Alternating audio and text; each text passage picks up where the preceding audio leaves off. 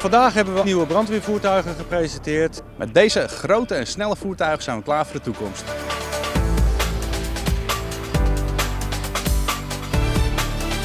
Vandaag is de dag van echt contact. En dat we erbij stilstaan hoe belangrijk het is om even om te kijken naar je medereiziger hier op Schiphol. We hebben hier de taxibot, waarmee we een uh, proef aan het uitvoeren zijn. We besparen tijdens het proces van gate naar startbaan 50 tot 85 procent brandstof en daarmee wordt de uitstoot ook gereduceerd.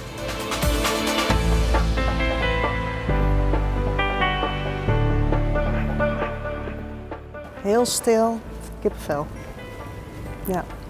Mensen die er zijn, uh, merk je toch wel dat ze ja, toch wel een beetje gestrest zijn en veel vragen hebben. Wat gaat er gebeuren? Wat moet ik nu? En daarom vinden we het heel belangrijk dat wij er juist nu voor ze kunnen zijn. KLM, Schiphol, everybody has been doing their best to try and get people home, which is fantastic. Er vliegen nog wel uh, minder en minder passagiersvliegtuigen, maar wat wel gewoon door blijft gaan is toch wel de vrachtvliegtuigen. Ja, dat de vracht vooral blijft doorgaan is wel heel erg belangrijk. Dat ook de medische middelen, dat die ook in Nederland blijven aankomen.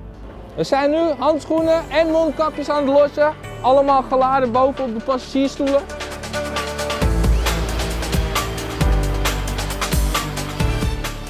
De rust die we op dit moment hebben in het veld en in het luchtruim, die biedt ons de kans om nu eigenlijk voor het eerst echt met drones te gaan testen op een luchthaven.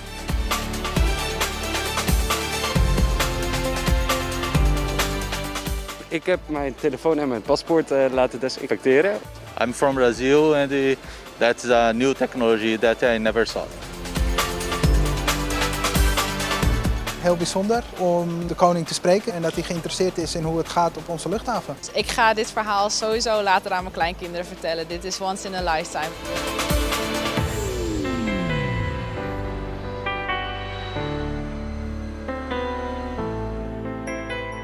Met trots presenteer ik het nieuwe security filter op de nieuwe verdieping in vertrekhal 1.